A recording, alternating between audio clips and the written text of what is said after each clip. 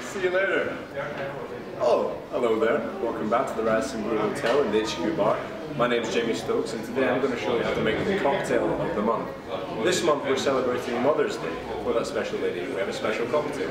It's called the Mother of Fruits. I'm going to show you how to make it. First up we have one shot of Absolut Peach followed by half a shot of raspberry liqueur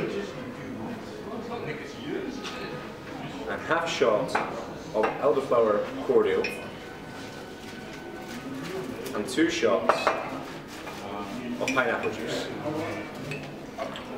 All the fruity flavors, all blended together. Very sweet, very nice, just like your mother. And now we're going to boom boom shake the room.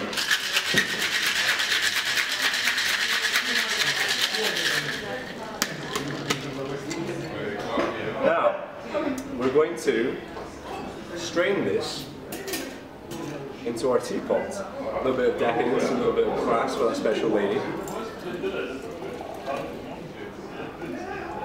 And then to top that off, we have just a splash of lemonade.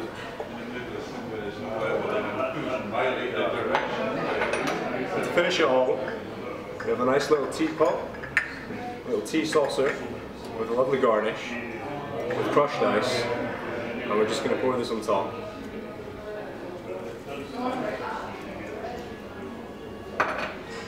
And there you have it, a mother of fruits.